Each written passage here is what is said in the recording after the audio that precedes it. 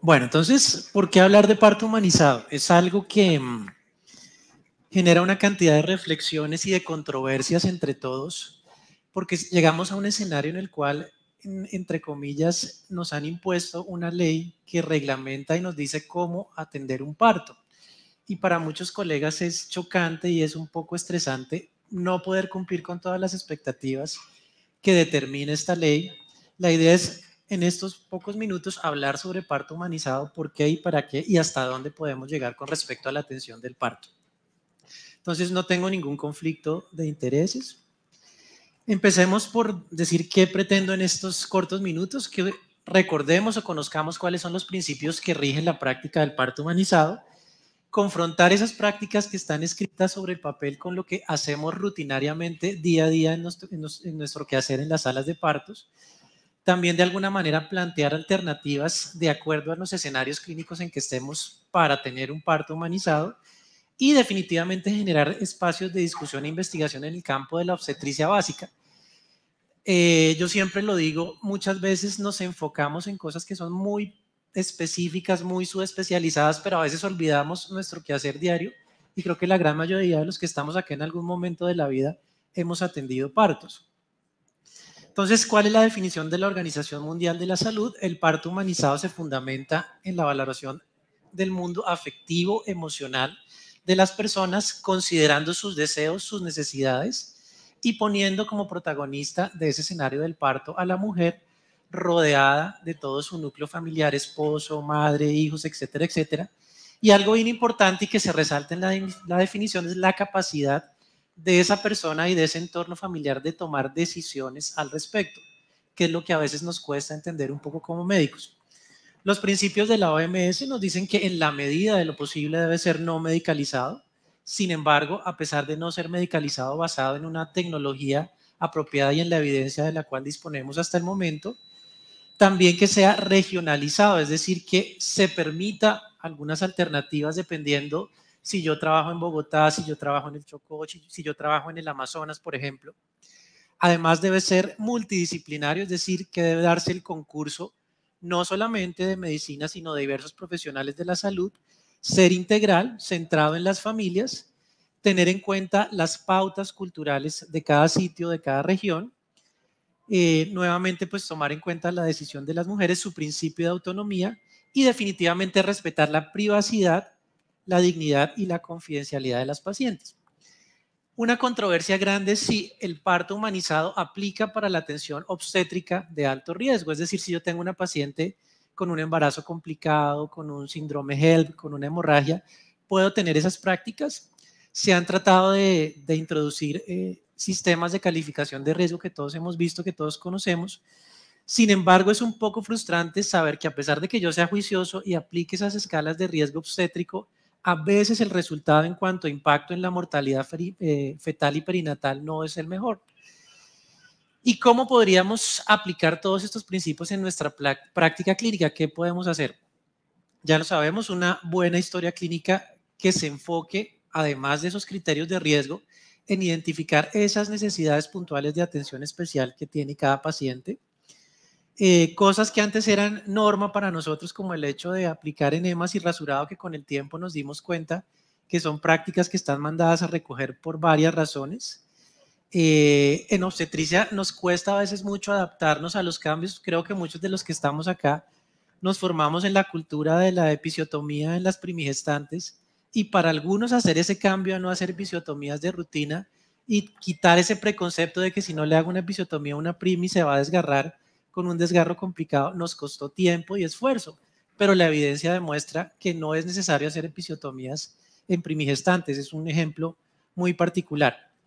Lo otro es asegurar y procurar la intimidad de las mujeres, siempre un profesional responsable de la atención obstétrica, permitir el acompañamiento de esa persona significativa para la paciente, sea su compañero, hermana, mamá, esposa, el que él decida, cosa que también nos cuesta en muchas instituciones porque tendemos a pensar que el hecho de que ese familiar vea cómo es la atención del parto o entre y esté en quirófano de una cesárea va a ser impactante o se va a prestar a malas interpretaciones. Y definitivamente la evidencia ha demostrado que esa información y ese acceso a ver cómo es la atención de un parto lo que hace es favorecer eh, cosas positivas en esa persona.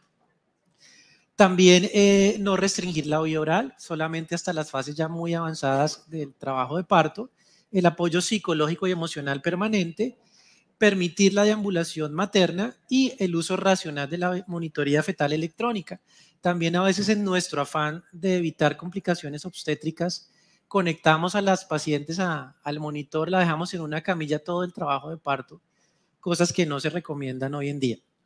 También un uso racional de los tactos vaginales, eh, definitivamente a la hora de tomar solamente decisiones clínicas. Ofertar la analgesia, no solamente la epidural, sino otros tipos de, medidas alternativas. Eh, también evitar las amiotomías tempranas como una estrategia para poder facilitar que esa mujer deambule eh, hasta fases avanzadas del trabajo de parto y no tengamos que restringir su movilidad y definitivamente un uso racional de oxitóxicos. Colocar un catéter salinizado, usar el partograma, definitivamente si se presenta alguna anomalía total, eh, tomar eh, decisiones al respecto y un manejo paciente del expulsivo, que hoy en día es nuestro quehacer un poco eh, agitado, lo olvidamos y queremos tener expulsivos de 5 y 10 minutos y que ya nazca el bebé, olvidando todo lo que nos han enseñado en cuanto a fisiología del trabajo de parto. La episiotomía solamente en casos indicados, el contacto piel a piel, que definitivamente tiene unos beneficios enormes desde, punto de vista, desde todo punto de vista, perdón, el pinzamiento habitual o diferido en caso de que no esté contraindicado por indicación de neonatología y también ese acompañamiento en el puerperio inmediato. Si ustedes se dan cuenta todo lo que está escrito, lo que la evidencia respalda, en, muchas, en muchos casos no lo hacemos. Alguna vez lo discutíamos con nuestros estudiantes de medicina me decían, doctor, pero ustedes nos dicen, y en la clase usted nos dijo que no se debe hacer maniobra de Cristeller, y yo veo en todas las salas de partos a la enfermera o al residente allá montado encima haciendo Cristeller. Entonces, ¿por qué hay esa incongruencia entre lo que está escrito y entre lo que hacemos en la práctica clínica? En cuanto al escenario ideal para parir, en un sistema ideal de seguridad, pues deberían existir muchas alternativas, definitivamente no las tenemos pero deberíamos ir hacia allá y ofrecer esas eh, alternativas a las pacientes e invertir en una infraestructura que garantice la comodidad y la privacidad de cada paciente. Sin embargo, eso no es una excusa para ofrecer una atención respetada, que es el término que muchas personas prefieren. Por ejemplo, estas son fotos de partos en zonas rurales, rurales perdón, en, Perú, en las cuales se respeta el deseo de la paciente de tener su parto vertical y miren en la foto de la izquierda cómo lo pueden hacer en un centro de salud pequeño o en un hospital de pronto un poquito más grande, respetando ese deseo e integrándolo a las normas eh, de asepsia y antisepsia pues, que tenemos en nuestros hospitales tradicionales. O si ya contamos con una sala de partos un poquito mejor, eh, la camilla de la izquierda muestra cómo se le puede colocar eh, la barra de arriba para la persona que quiera optar por el parto vertical o por otras posiciones alternativas de parto o si de pronto estamos en un hospital que ya cuente con más recursos, todas estas camas que nos permiten adoptar ciertas posiciones ergonómicas traen los dispositivos para poder realizar este tipo de posiciones alternativas. Lo que pasa es que no lo exploramos, ni siquiera le damos la posibilidad a la paciente de que se realice de otra forma diferente a como nosotros creemos que es adecuada. En cuanto al alto riesgo, definitivamente no es excluyente pero en este tipo de situaciones sí es muy importante y entra en juego la importancia del consentimiento y el desistimiento o no consentimiento informado,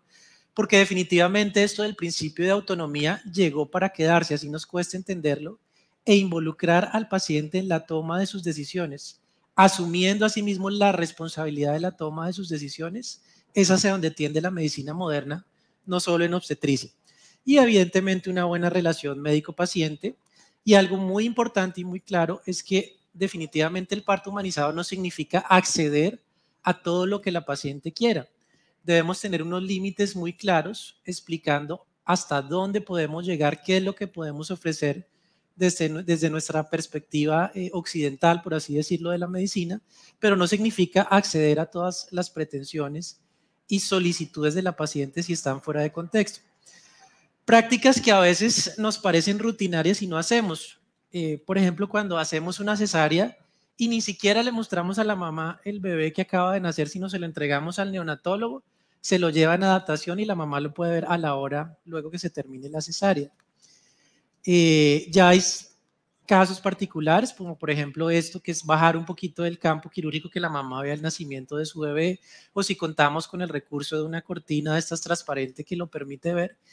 Si se dan cuenta, son cosas que no requieren una mayor inversión, sino simplemente son actitudinales, actitudinales perdón, y es que yo quiera hacerlo y que me tome 10 segundos de mi tiempo para ser buena persona, entre comillas, y realizar ese tipo de prácticas sin rutinizar lo que hacemos todos los días. Esta es la ley que comentaba Mauricio, la ley 2244 del 11 de julio del 2022, que en los chats de ginecólogos en los que yo estoy ha generado mucha controversia, muchos comentarios de los colegas, y es entendible porque todos ejercemos en, diferentes escenarios clínicos. Así como eh, hay personas eh, que están en un hospital que maneja poco volumen obstétrico, en que la eh, atención obstétrica es uno a uno, tenemos por otro lado el colega que está con 20 o 30 pacientes en trabajo de partos en una sala de partos, enfrentándose a la atención del parto de todas esas 20 pacientes y es entendible que cumplir con esas normas es difícil en ese escenario clínico.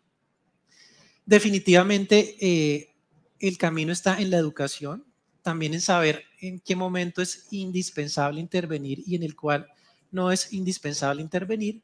y cada institución debería generar su propio protocolo de parto humanizado, ajustándose a sus necesidades, a sus recursos, a su infraestructura, etcétera, etcétera. La educación implica eh, ir más allá en el control prenatal de revisar laboratorio, revisar ecografías y pedir exámenes, tener esas estrategias, ser empático con las pacientes, unos buenos cursos de maternidad que definitivamente no se limiten a explicar cómo debería ser un trabajo de parto y lograr motivar a esas pacientes para que entiendan el proceso del trabajo de parto y las alternativas que se pueden dar para tener un parto sin dolor. Eh, muchos estamos en contacto con gente en formación y desde el pregrado hasta los subespecialistas debemos enfatizar en el papel protagónico de las mujeres en el, en el parto. Y lo que les decía hace un rato, tener coherencia entre la evidencia y la práctica clínica es una de las cosas más paradójicas y que uno ve que no hacemos lo que está escrito y está soportado en literatura. Definitivamente cambiar mentalidades y preconceptos es algo pues demasiado difícil. Eh, se ha generado algo que también para muchos colegas es un dolor de cabeza y es el plan de parto. Cuando nos llegan al servicio pacientes con planes de parto redactados por abogados, con 10 páginas, con N solicitudes, nosotros como experiencia institucional decidimos sentarnos los implicados en el proceso crear un formato de plan de parto que al final deja unas opciones eh, abiertas y un espacio abierto, perdón, para que la paciente manifieste sus expectativas. Pero esa consulta de plan de parto es algo que deberíamos implementar en ese control prenatal por encima de la semana 32-34 para aterrizar a las pacientes, como les decía, poner límites y responder el por qué y el para qué de ciertas situaciones. Cuando uno habla con este tipo de pacientes que van con esas solicitudes extremas, y me dicen, es que yo no quiero dejarme canalizar. Entonces yo le digo, mira, es que te canalizamos porque si presentas una hemorragia, si tienes dolor, ya tenemos un acceso venoso, podemos colocarte medicación. Ah, bueno, entendiendo, sí me dejo. Entonces muchos de, estos espacios son negociables y definitivamente pues respetando ese principio de autonomía, pero poniendo ciertos, ciertos límites. El enfoque diferencial es algo que también llegó para quedarse y aplica no solamente para esto, sino para muchos, muchas cosas de la salud sexual y reproductiva. E implica entender las particularidades y el entorno de cada individuo y flexibilizar los procesos. Ejemplo, si tenemos una pareja del mismo sexo que hizo una subrogación y los dos papás quieren entrar al parto, pero nuestro protocolo dice que solo puede estar una persona acompañante, realmente es justo que si los dos quieren participar en ese proceso, se restrinja que por la norma solamente uno puede estar. A eso me refiero con flexibilizar, a que haya un doliente en cada hospital encargado de analizar esas situaciones particulares, garantizando la igualdad, la, equidad y la no discriminación. Y en sitios eh, eh, muy, muy eh, específicos de la geografía colombiana, conciliar las prácticas ancestrales con lo que hacemos. Ya FECOLSOC lo está haciendo en algunos escenarios de ir a hablar con las personas, eh, ofrecer capacitación, aprender de ellos también y definitivamente entender que tiene que haber una integración para garantizar esos desenlaces materno-perinatales buenos. Esto del enfoque diferencial y de las prácticas ancestrales no aplica solo en países como el nuestro. Este estudio es de Canadá, muestra cómo el entorno definitivamente y eh, todo lo que va de la mano del parto es una construcción cultural permeada por múltiples esferas. Y así yo atiendo un parto en Canadá o atienda un parto en el Amazonas, voy a tener que respetar ciertos principios y voy a tener que entender el contexto de esa paciente.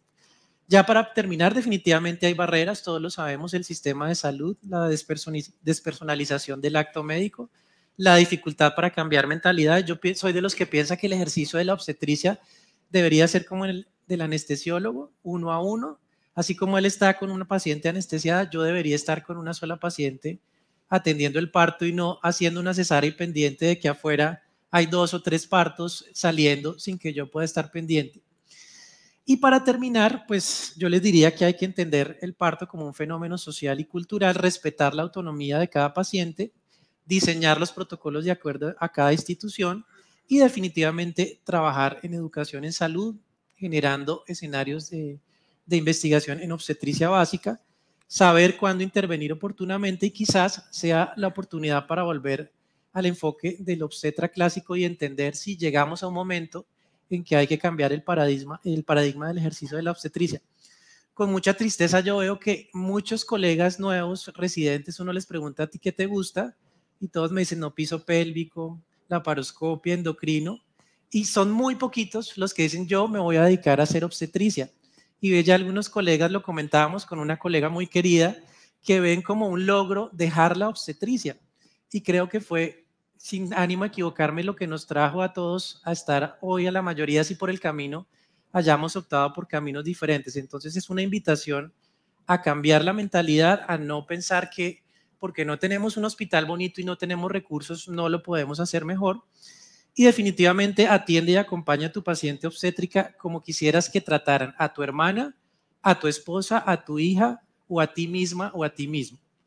Y definitivamente para responder la pregunta que hicimos al principio, en la atención obstétrica respetada o en el parto humanizado, podemos llegar hasta, hasta donde nuestro humanismo y apertura mental lo permitan, manteniendo obviamente una racionalidad científica y una cultura de seguridad clínica y respeto por los derechos de todos. Muchas gracias.